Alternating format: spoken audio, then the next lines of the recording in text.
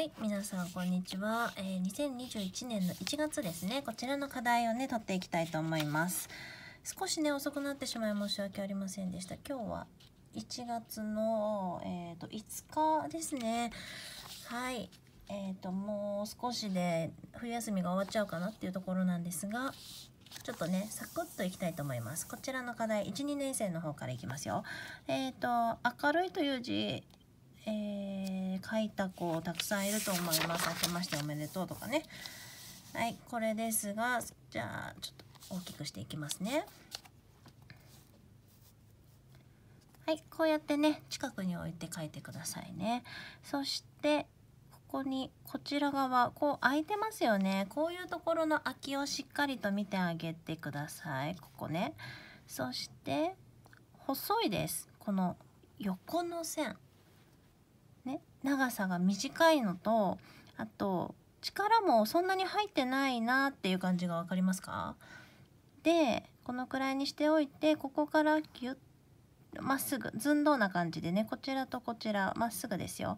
でトントンこれはあのー、ギューっていう感じで下がってこないで上がっててください。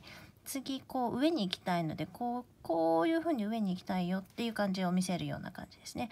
でここからのスーッとまっすぐ下ろしてきて左へ。でこのぐらいな感じでいいですね。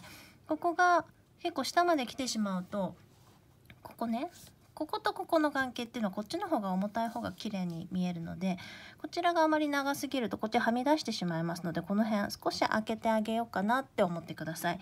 でそういう風にしておいてここでここしっかりキュッと一旦キュッとね置いてあげるといいですねただあんまりあのやりすぎてガクンって下に落としすぎるとわざとらしくてあんまり綺麗じゃないのであんまりやりすぎないっていうのもそうなんですけどちょっとギュッと押してあげるようなイメージにしてで少ししならせるぐらいな感じでやってあげるといいです。でここでキュッて内側にこう入ってくるようなこの時に下のラインがこちらの方が重いかなってって言ってたさっきのやつですね。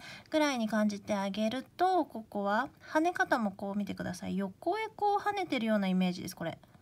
あんまりドーンってこう大きくやってないですよね。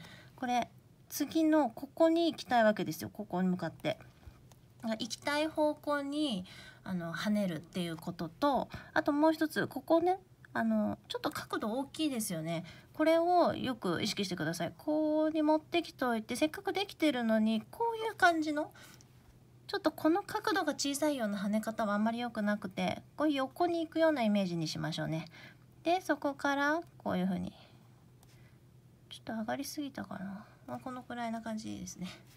はい。でなるべく上がり調子でもいいのでこのちょっとこう揃えてあげるようなイメージにして下をねちょっと大きく開けといてください。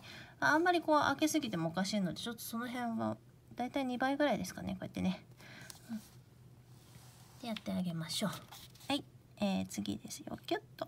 こう真ん中の線に乗っけるようにクイッとちょっとねしならせるようにしといてここが長いところ、うん、長いけどこういうとこの空きをちょっと見といてあげてくださいね。ここ。ちょっとお手本のところこれ薄いので分かりづらいんですけどマスがありますここにね。こういう風に。でマスのこの線両脇の線。この辺がこうやって空いてるんだよっていうこれですね。だからあんまり端っこまで行き過ぎたらすっごい大きい字になっちゃうのでね。なんかちょっと不格好になりやすいのでその辺のバランスを見てあげて。あんまりここ感じていただきたいのはこうグワンとこう大きく回ってる感じしないですよね。横に広がってるなっていうような印象だと思います。そして少しだけこうキュッと上がってくる。ロの場合はこの真ん中の線でスッとここで切ってあげればいいんですけどルの場合はここまでこう真ん中の線を通り越してキュッと上がってきてあげるとやりやすいのでここ結びをね作りやすくなりますのでこれねやってみてください。そして「い」です。いっていうのは上の部分と下の部分の空きが結構あるんだっていうその意識を持ってあげるとこのバランスが取りやすいですね。少し小さく見えるような字だと思います。マスに対していっぱいに書こうとするとすごくこう長くなるでしょで縦長みたいなこういうこういう感じの字になってあんまり綺麗じゃないですよね。で斜めだなっていうのとちょっと短めだなっていうのを感じてください。でただ長い短いっていうのってその感覚はねなんか人それぞれだと思うしなかなか伝わらないのでこの隙間の取り方っていうのをどのくらいの比率なのかなっていう感じで見てあげるといいので「うん、い」っていうこれはこのマスに対してこのくらいっていつも対象を見つけておくようなイメージでやってくださいね。でそそのその感じっていうのはやっぱり12年生になかなか伝わらないところでもあるんですけどその比率っていうところですよね。それねだからうん白いとこと黒いところとってよくあの毛筆だったら言うんですけど色の感じでオセロみたいに例えてね言ったりもしますけど硬質の場合はまあそうね長さどういう風に取るのかなっていうところね覚えちゃうといいですね。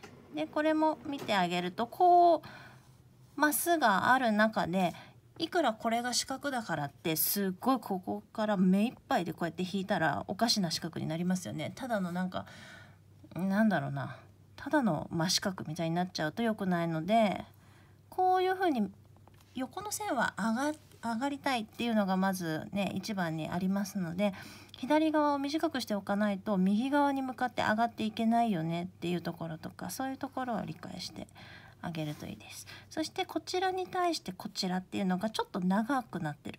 ここの部分見てください。ちょっと出てますよね。ちょっと出したいんですよ。なのでえっ、ー、とここちょっとちょっとだけこれに対してこれを少しだけ長めにしておいてで真ん中をこういう風に作るんですけどその時よく見てみるとこことここってちょっと下の方が面積広いかなっていう感じ普通にここをこう閉じたら広くなるんじゃないかなっていうぐらいの方がいいかなと思います。下が狭いよりもなんかちょっとこうこういうぐらいな感じ？少しですよ。少し多分自分でギュッて引いたりするとこれって下がりやすいんですよこうやって。だかちょっとその辺をあんま下に下がってこないように注意してあげるとここしっかりとこう出てあげることができますので調整がねしやすくなると思います。はい。3はこれをしっかり1画目長くしてあげてくにゃっとしながら2画目をこうね持ってきてますよね。くにゃっとしながらこの真ん中の線のこの辺りほらちょうど真ん中なんですよ。その辺でこういう風に軽いカーブ S 字のようなカーブですよね。そこからもらってきてこうですね。そう。C がかとかも上がって内側にギューッと入ってきてっていう動きとあとここがちょっと短い方が綺麗なので長くしないこと。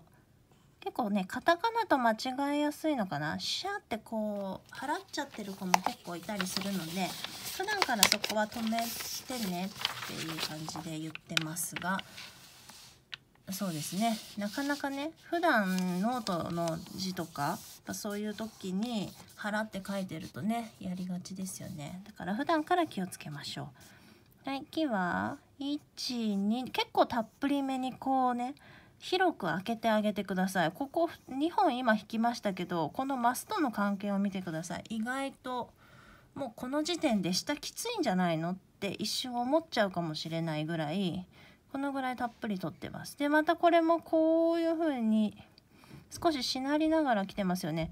で意外とギリギリで OK なのでここが狭くならないようにっていう感じですね。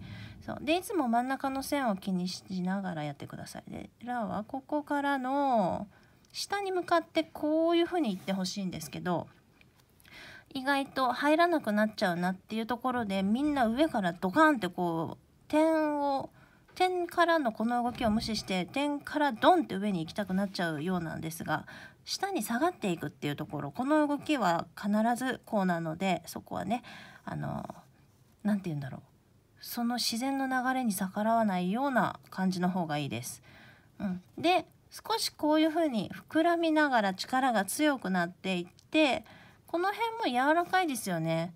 なんかカクンカクンカクンしてないっていうか少しこうクときて方向転換しながらこうずらしていくようなそんな感じにするとこの辺は柔らかくて綺麗だと思います。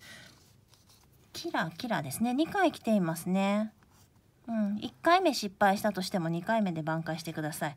キラこんな感じです。はい「か」もねいっぱい出てきますね「か」がはい「や」です「や」は横幅がたっぷりだなっていうのが思いますね。結構ギリギリなところまで来てます。ここね。ちなみにここなんですよ。分かりづらくてすいませんね。こうになってて結構ここには空きがもうほとんどないぐらいですがこちらにはちょっとあるなっていうところはいその辺を見てもらうと横軸横軸ないんだけどね縦のこの中心がここでまあ横があるとするならここなんだけどその辺りからこういう風に来ています。でトンからの一旦あの軽くこう置いてからスタートしましょうね。あんまりふにゃふにゃしてると良くないのでここから置いてからスーッとこういう感じです。で力抜いてって構いませんのでこんな感じで。はい次はこれが最後の行ですね。えー、輝いている。はいいいですね。先ほどそうねいい言いましたね。こう長すぎちゃダメだよっていうところこんなにたっぷり使っちゃダメなんだよってこれではなくてあの方向としては合ってるんですけど傾きとかね。それをこのくらいにしたらいいです。こういう感じで、うん、はい。手はキュッとここが結構勢いのいい感じ。でグイッと強い感じもしますよね。そこから折れてください。こんな感じです。この辺の力加減。結構優しいですよ。スーッときて結構冷静にこの辺から力がギュッ。と、うん、はいもう一度いいですこう切っといて上なんですよこれね。上に行きたい。少しこう上がっていきたいなっていう気持ち忘れないように。意外とこう下がりやすいんですけどね。はい「る」です。ギュッと上がって今の点みたいに似てますよねこの動きね。短いですが勢いのあるクイッてこういう感じの線。そこからのスッとまっすぐですこれ。ねこういう風に広げてって少し上がってきました。上がってきといてトントン。これで OK ですね。はい、えっ、ー、と小学1年2年生なので小2でいきましょうか。小2。はい、こんな感じですね。あ、漢字がね2つだけなので。うん似たようなところもあるしね。あちょうどいい課題ですね。はい頑張ってください。